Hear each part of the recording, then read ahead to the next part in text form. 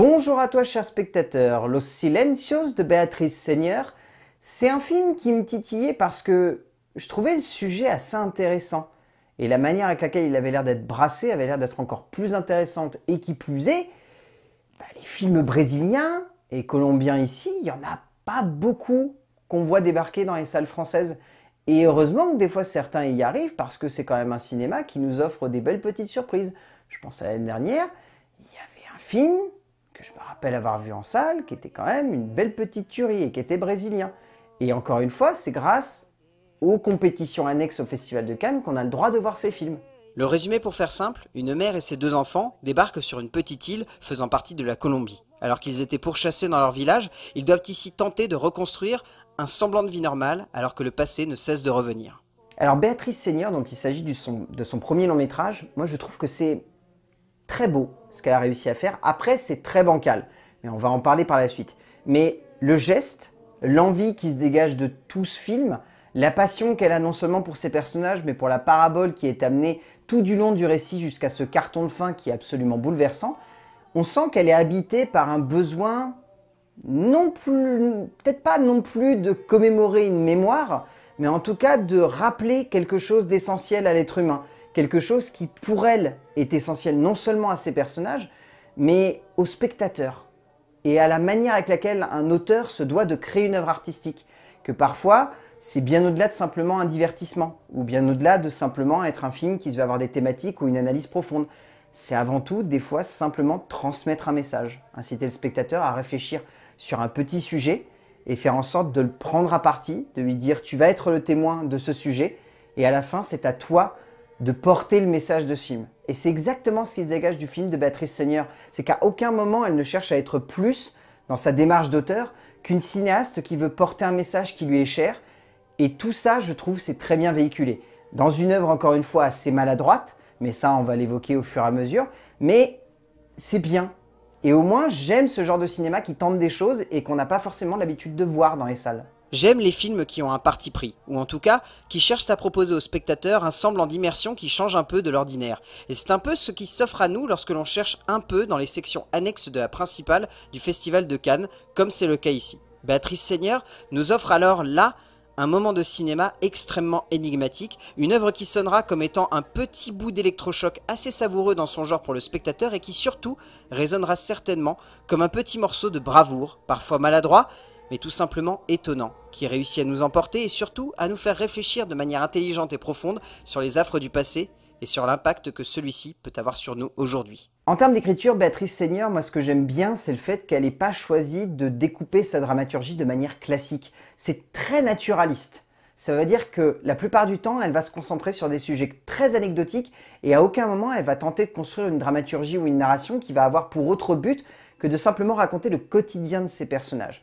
Le but ensuite, sans révéler la teneur véritable du scénario, c'est surtout de nous questionner par rapport à la place que ces différents personnages vont avoir au sein de cette famille et au sein de ce petit village. Et en plus, au-delà de ça, de questionner l'idée de est-ce qu'un petit village face à quelqu'un qui veut racheter ce village pour en faire autre chose, se doit de rester ou alors doit partir pour potentiellement avoir la chance de peut-être vivre une vie différente. Toutes ces thématiques sont développées tout au long du film de manière très intéressante. Le plus gros souci que j'ai avec ce scénario, c'est que j'ai la sensation que Seigneur, elle s'est un petit peu limitée à vouloir absolument avoir une démarche très naturaliste et que du coup sa narration, qui pourrait être beaucoup plus dense, beaucoup plus forte, beaucoup plus, je dirais pas éparpillée, mais en tout cas qui aura une densité plus importante, elle a tendance à se limiter à ne pas avoir envie de vouloir absolument rentrer dans certains détails, de peur de se perdre. Et du coup, elle veut limiter son scénar, ce qui fait qu'on a cette impression qu'il se passe peu de choses dans un laps de temps trop large.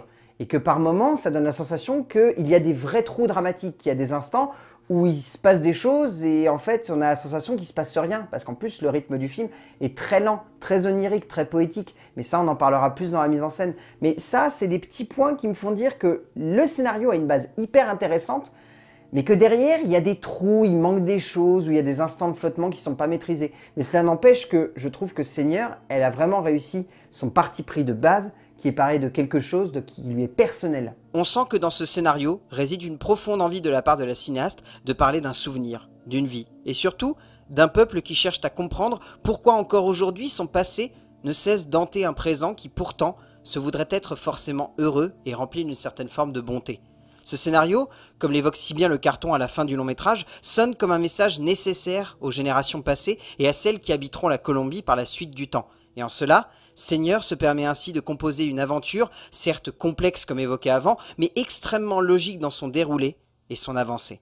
En termes de mise en scène, je trouve que Béatrice Seigneur, le parti pris qui est un petit peu loupé, c'est cette idée de jouer sur des longs plans. Je trouve pas forcément que ça marche hyper bien dans le fait que, en termes de montage et de rythmique, ça n'amène pas plus de force au scénario que ce que le scénario dégage de lui-même. Ce qui fait que du coup, la mise en scène donne un peu la sensation par moment de se poser et de ne pas savoir réellement quoi mettre en avant.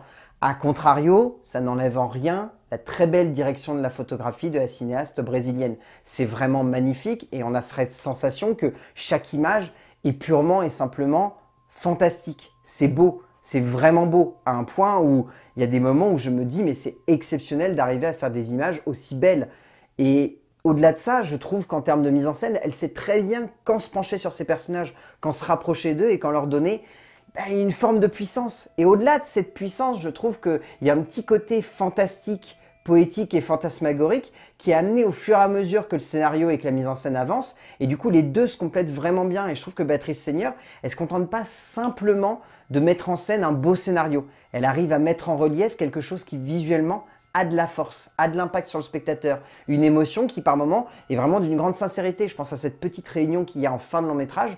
Vraiment, je trouve que cette scène dégage beaucoup de choses et va au-delà de simplement être un petit instant où il y a un effet esthétique qui fonctionne plutôt bien par le biais des costumes. Ça va au-delà de ça. Ça amène une vraie puissance émotionnelle et une vraie puissance esthétique. On est sur un long métrage proche du poétique quasiment expérimental par instant, non pas forcément dans le geste que provoque la mise en scène de Seigneur, mais dans la manière avec laquelle la cinéaste choisit de placer ses personnages, de les laisser interagir les uns avec les autres, pour créer quelque chose de fort émotionnellement. Cela n'en reste pas moins assez bancal durant une bonne partie du métrage, mais il y a l'idée. Et en cela, le film parvient à créer un sentiment fort chez le spectateur, que la cinéaste maîtrise pendant quasiment tout le long de son métrage, et tient comme une vraie profession de foi envers le spectateur, ce qui a le mérite d'être hautement tenu. En termes de casting, je tiens à citer les gosses de ce film qui sont vraiment exceptionnels. Maria Paula Tabares Peña et Adolfo Savivino. Les deux sont vraiment bons, ils sont vraiment très très bons, ils ont des rôles qui sont pas forcément faciles à jouer, mais je trouve les deux s'en sortent plus que bien. Il y a des séquences où vraiment moi j'étais complètement transporté parce qu'ils ont un jeu qui est vraiment subtil. Enrique Diaz également est très très bien, beaucoup plus reculé, mais très bien quand même. Et heureusement qu'il y a cette actrice centrale, parce que sans elle, je pense que le film n'aurait pas été aussi bon, clairement. Marleida Soto est vraiment bonne dans le rôle de la mère. Pas forcément époustouflante, mais son interprétation se tient et donne lieu à quelques moments vraiment imposants en termes de jeu et de relation avec le spectateur. Au bout du compte, Los Silencios, c'est vraiment un beau film. Et bien au-delà d'être un beau film, je trouve que c'est un film qui arrive à être poétique et en même temps social.